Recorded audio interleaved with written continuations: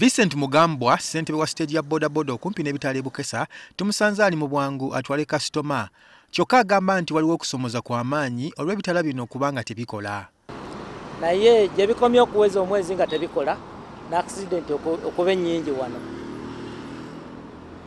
Abantu bagenda ne bajja nga balowooza nti ebitaala bikola ne bajja sipiidi kati mu kujja sipiidi okwo accident.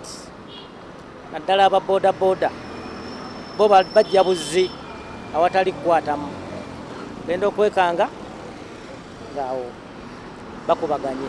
Ono atubuulidde nti kuba ebigere ate kisukka kuba bangi babatomedde. Olwomukaaga batomeredde wali oli motoka yamusanze ayimiridde wali. Motoka nesalawo nemukuba.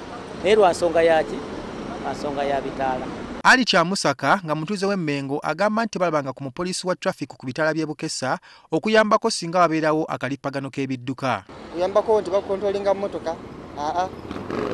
Era buli omu yeefaako nga bwasobola. Abebigere ne yeefaako nowa n'abaana abetakisi ne beefaako. Ku luguudo oludda entebe okumpi ne kamukamu plaza nawe embeera y'emu. Ekizibu kye tusanze awo abatamiivu abavuga bavuga sipiidi kati oli yava eri n'ekimotoka kye n'ajja n'atomera control, control house eri awo. Control house eyo ye controllinga traffic lights z'oluguudo. Kati kwolwo oluguudo entebe entebe road kampala road kyetugezaako okulanga kcca twatandise process ya procurement. Tulabe nti tuddaabiriza tufuna control house empya. Naye tetwaligenze mu ebyo ebintu singa twali twefuga nga uh, bannanyini motoka eziri kwolwo oluguudo ate ku clock tower kalumba agamba nti amataala gagibwako olw'emirimu egigenda mu maaso ku luguudo luno. Ezo uh, twazijja kukolwa kubanga bakola omulimu gwa kampala flyover. Kampala flyover project eyo egenda kuleeta traffic lights mpya.